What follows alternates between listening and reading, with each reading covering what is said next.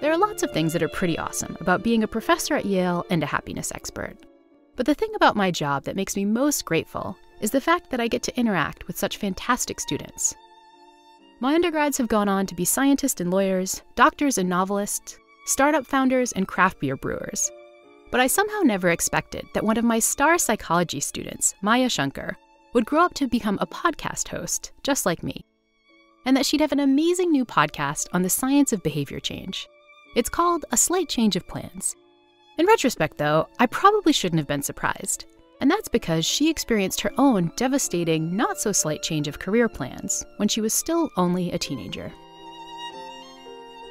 If you had asked Maya back in the day what she wanted to be when she grew up, she would have given you a pretty quick answer 100% a violinist. That was the thing I was super into. I started playing when I was six. My mom had my grandma's violin in the attic from India. She had brought it all the way with her. And she asked my three older siblings if they wanted to play, and they were like, like, this isn't cool. And apparently I wasn't that cool. So I was like, this sounds great. And I fell in love with it really quickly. Like practicing didn't feel painful for me. And I also just loved the idea that like I could work hard at something and then I could see myself get better. So you're getting better and better. And then all of a sudden, when you were 15, everything changed. Yes. It coincided, I think, when I was at my peak as a violinist. So at this point, I had been studying at Juilliard for about six years. Itzhak Perlman had asked me to be his private violin student. Even my parents, who had always been like, we would really like it if you went to like a liberal arts college, not do this music thing, um, were like, oh, actually, yeah, maybe Maya can do the violin thing. So, like, we were all getting behind this, uh, this idea of me becoming or trying to go pro. It's obviously a very, very tough industry. And then was just playing a really challenging piece and I overstretched my finger and I, I tore tendons in my hand. It was a very serious injury. And then finally, doctors said, sorry, kid, but you're out of luck. This, this career is over. So what's that like? You're in high school, you thought you had this career all mapped out, and all of a sudden it just totally went away. Yeah, it was very disorienting. As a kid, you're you just don't engage in a ton of introspection, right? Like, who am I? You don't ask yourself any of those questions. But then suddenly at 15, when the violin was taken away from me, I was forced to examine this question of who I was. And I realized, like, this whole time I have felt like a violinist first and foremost. Like even before I was Maya, I felt like I was a violinist. My right shoulder to this day is a little higher than my left one because my bow arm spent so many hours practicing. Like my body like grew in a way that aligned with the way the violin's like ergonomics were. So it's only at that moment you realize that wow, this thing was a huge part of my identity and now that I don't have it anymore, I have no idea what comes next and I was really scared. I was like, I don't I don't know if I'm ever going to love something as much. I don't know if I'm good at anything else. Like I don't I don't know if I'm passionate about anything else. Like all these questions, you know, came to mind. But being good at something, being passionate at something, that all came pretty quickly in a new field, like my field, the field of psychology, right? Well, thanks to you. So basically, yeah, the summer before college, I'm dealing with the fact that this thing that I thought even got me into college in the, in the first place, violin, is no longer a thing. So I'm like, I don't know what it is that I want to study. And then I read a an interesting cognitive science book over the summer, and my brain lit up, and I was like, oh my gosh, the study of the mind is fascinating. Like I just never thought about this stuff before. I never, I never fully appreciated like how badass our minds are, right? Like we're always we're always like criticizing ourselves or annoyed at some personality trait we have and you just like you read these books and you're like we are all crushing it basically each and every day just by virtue of living. So I I just felt like I was in awe of the mind. But then I was like, well, what do I do with this? And so I was looking through the Yale course catalog and I see that there's this major called cognitive science. And you were one of the leaders of the program, right? And I remember reading in the course book that it was like an admissions only major. So, oh no, I first of all don't feel like I even deserve to be here anymore. And I now want to do a major that's like applicant only. Like, I, I just felt totally overwhelmed. And so the way you dealt with feeling so totally overwhelmed is that you chose to reach out to a young new professor in this field of cognitive science, um, me. yes. Um, luckily, Laurie Santos. Luckily, I have found your first email to me that you sent oh me way back in the day. Here's what you wrote. It's you torture. wrote. It, it is. It's a torture for me too because I was young back then. It was much.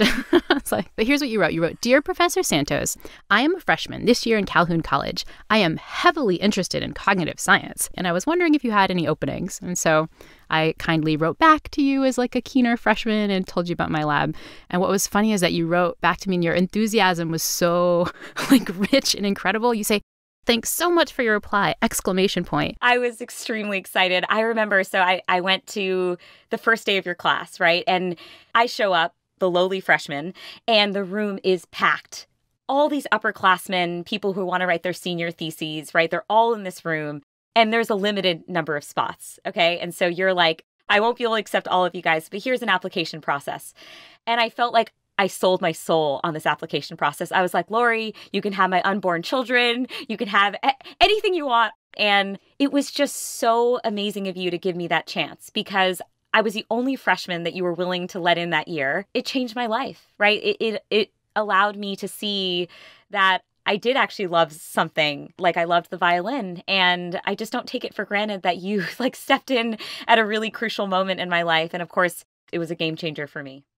It was a game changer for me too. Maya would go on to become one of my most accomplished students. But the longer Maya stayed in the academic ivory tower, the more she realized how much real world behavior she was missing out on. I was at Stanford studying decision making and I was in the basement of this fMRI lab. And I was like scanning this dude's brain. I'd been in this like dark, windowless room for like five hours at this point, peering into this person's brain who I haven't had a conversation with. I don't know what his middle name is. I don't know what his favorite ice cream flavor is. There's lots of fundamental things I don't know about this person. And I remember thinking, I feel like I I want to engage with people. I want to be on teams. I want to have like a hyper social dynamic and the, the, scanning part of this job the fMRI scanning is just not for me. Um, so i called you and i was like hi so i've been doing this like academic thing for like 10 years now but i actually don't think that i want to do it anymore. I had no idea what came next. And you shared with me that there was some amazing work happening in the white house at the time. It had never crossed my mind that a cognitive scientist could go work in the government you and I had talked for for so many years at this point about the potential of behavioral science. Oh, when do you use injunctive norms versus descriptive norms? Like what's the power of the growth mindset, right? Like you talk about all these things. And then I remember in this interview I had with a senior Obama White House official, I'm talking about these ideas in the abstract. And his response is, you know, I know First Lady Michelle Obama, like we can absolutely integrate that into her Let's Move initiative and I was like, what is happening in my life? This is this is totally insane. Like we can actually make this stuff happen. In the end, she not only got hired, but was offered a chance to start her own social and behavioral sciences team to make real changes. She helped military service members enroll in a new retirement savings program. She worked to ensure that eligible children had access to reduced school lunches. She helped family farmers more easily understand the steps needed to get a microloan. But the biggest thing her new role taught her was the importance of finding out about people's lived experience. Yeah, it helped me see the power of stories and the fact that when it comes to changing a person's life or, you know, helping to inspire change in their lives, maybe the first place we should go is is to hear people's stories. And then next, you know, we look at the science. And so that's one of the big inspirations behind your new podcast, A Slight Change of Plans. So so what is this podcast? yeah, it is a podcast that's all about change. It features really intimate, raw conversations with people who have experienced extraordinary changes of all kinds. And I've learned so much from doing this podcast about all the contours of change that exist and, and, the kind of impact that change can have on a person's life. And, like, you know, we dig in, like, what is that process like? I, I've heard this come out in so many of the interviews, people saying they felt so much trepidation or fear in advance of a big change. But then what you find in virtually every case is that they are grateful that they went through the change. Even if the change didn't end in exactly the place they had wanted it to end, even if it taught them something wildly different than what they thought they were going to be taught, they do feel like they've grown from that change. there is a tension between change and happiness in a lot of ways, which is like changing ourselves, changing our minds. It's a deeply uncomfortable process, right? It is so much easier to live our life not questioning the values we have, the ideas we have, the opinions that we have, but we know it's worth it in the end, right? We we know that that trade-off is worth it. And so I'm wondering if you have any thoughts on like how we can try to incentivize people to want to change, even though we know it, you, they might take a, a short term hit in happiness.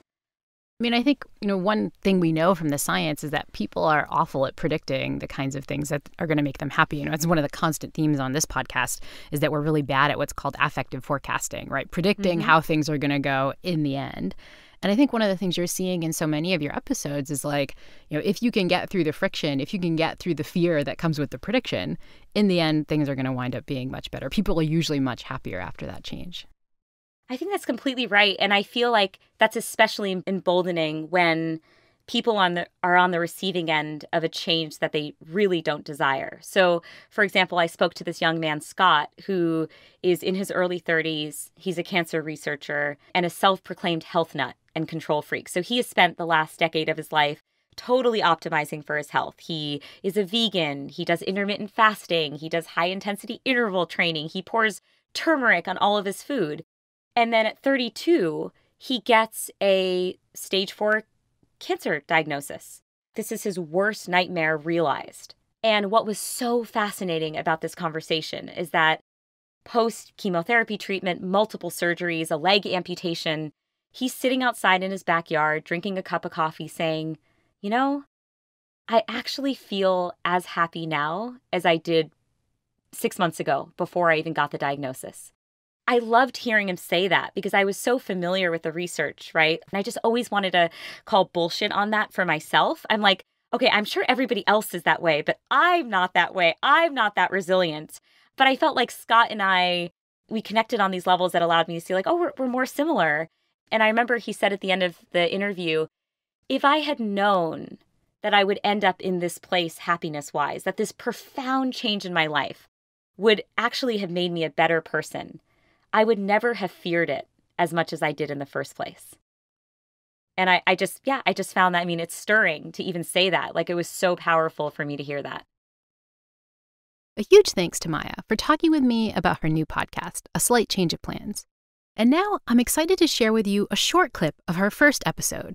It's an interview with Daryl Davis, a black jazz musician who convinced KKK members to leave the Klan. You can subscribe to A Slight Change of Plans wherever you listen to the Happiness Lab. Okay, here's your quick taster of what's in the show. So I was riding in my car. I'm driving, and this Klansman was sitting in my passenger seat. And we got on the on the topic of uh, crime. And he made the mention that uh, black people are born with a gene that makes them violent. And I said, Look, I'm as black as anybody you've ever seen. I have never done a drive by or a carjacking. How do you explain that? This man did not hesitate one second. He answered me instantly. He said, Your gene is latent. It hasn't come out yet. That's Daryl Davis, a blues musician. And yeah, you heard him right. He's driving in his car with a member of the Ku Klux Klan. You know, I was speechless. I was dumbfounded. And he's sitting next to me all smug and secure, like, uh huh, you see, you know, you have nothing to say. And I thought about it for a moment. Rather than attack him, just say, it's not true, it's not true. I said to him, I said, you know, white people have a gene within them that make them serial killers. And he said, Why would you say that? I said, Well, face it, name me three black serial killers. He thought about it. He couldn't name anybody. He couldn't do it. I rattled off Charles Manson, Jeffrey Dahmer, Henry Lee Lucas, John Wayne Gacy, Ted Bundy, David Berkowitz, son of Sam, uh, Albert DeSalvo, the Boston Strangler. And I said, Son, you are a serial killer. And he said, Daryl, I've never killed anybody. I said, Your gene is latent, hasn't come out yet. He said, Well, that's stupid. And I said, Well, duh, it is stupid. And he got very, very quiet. And I could tell that the gears in, in his head were spinning super fast, probably, you know, burning a hole in there. And then he, you know, a moment later, you know, he changed the subject. But within five months, this guy quit the Ku Klux Klan. Daryl didn't set out to change anyone's mind. He was mostly just focused on his music. But one night, his life took an unexpected turn when he was playing a show at a bar called the Silver Dollar Lounge.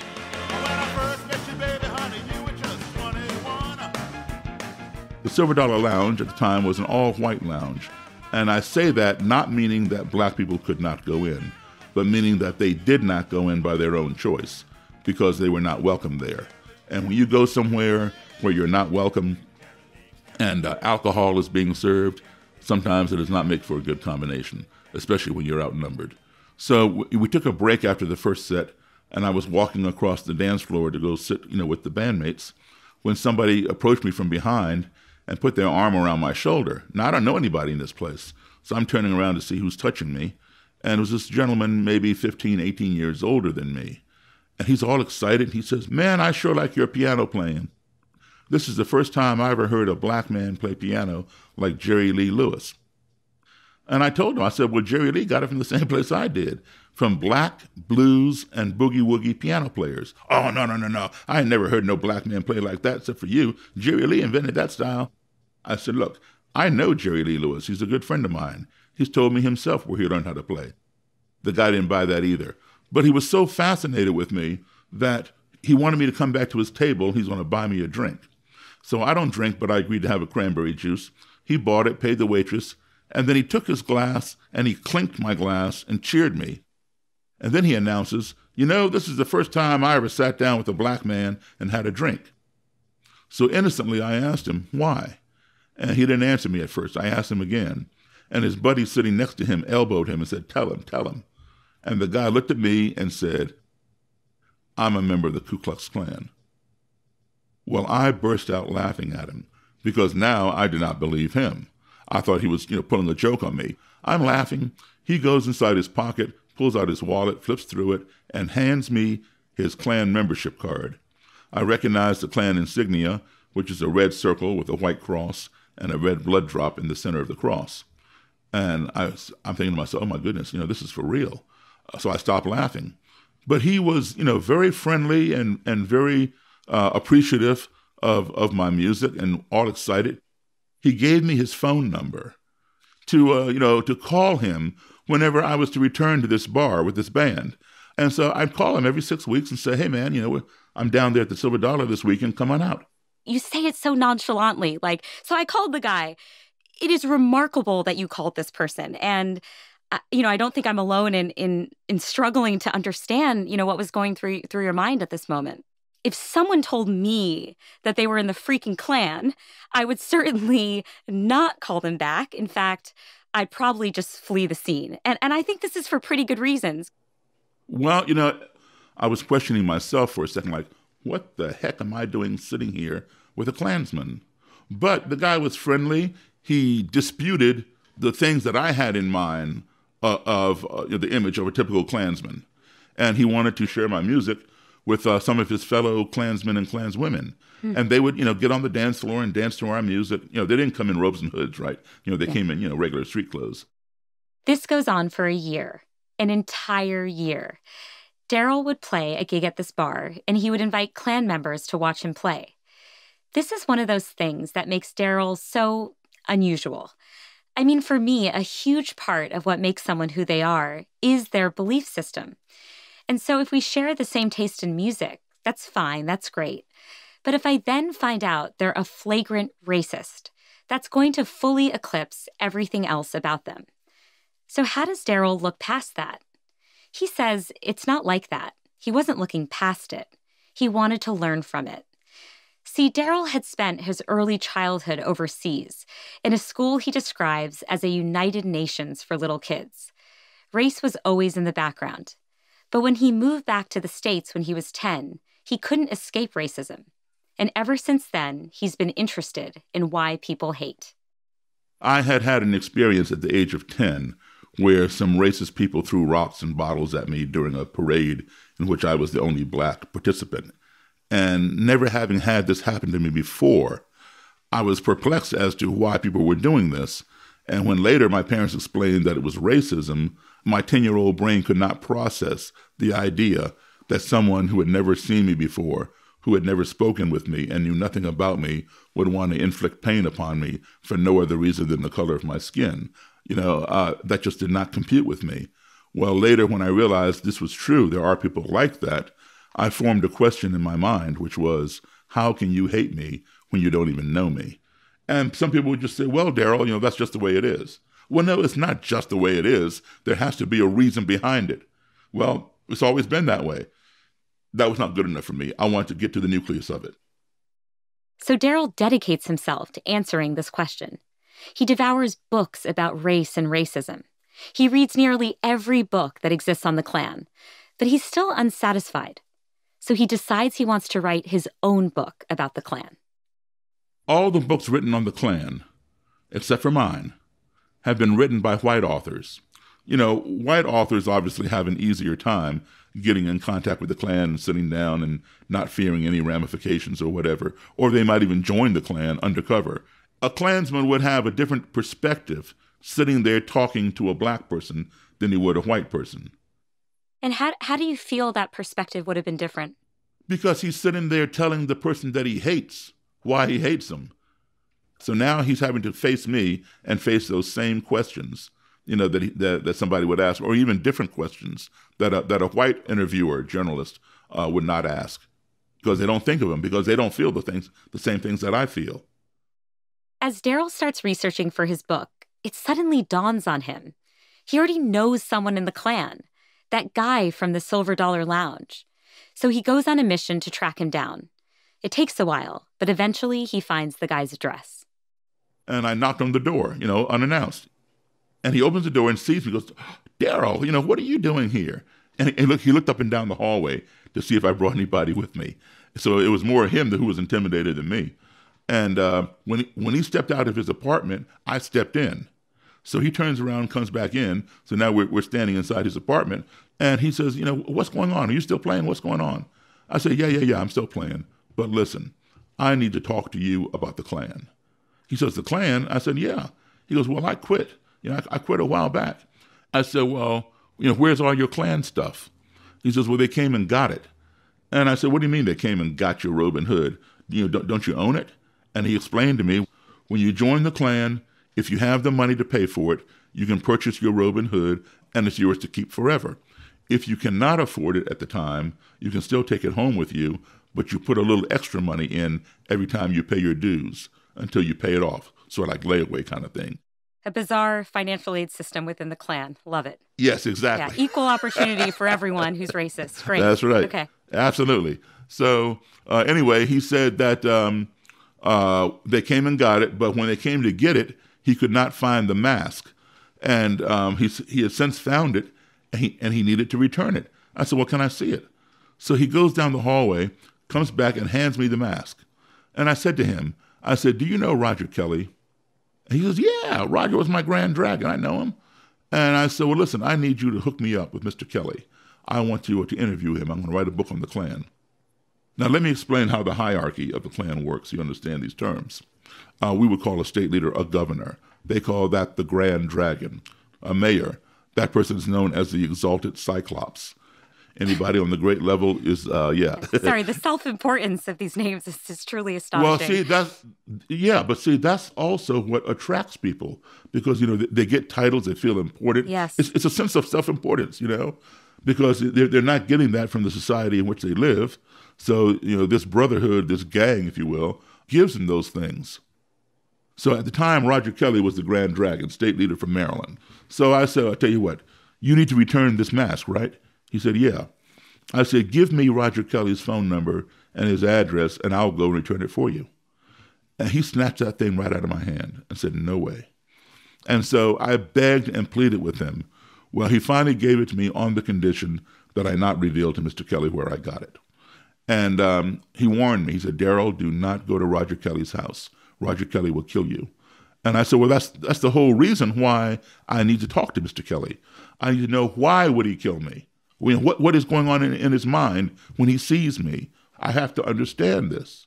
You did realize that you might not get the answer to the question if, in fact, the um, dangerous part happened first, right? Uh, true. This is true. But but I but I I was thinking, you know, that um, I would I would prevail. I'm the eternal optimist, if you will.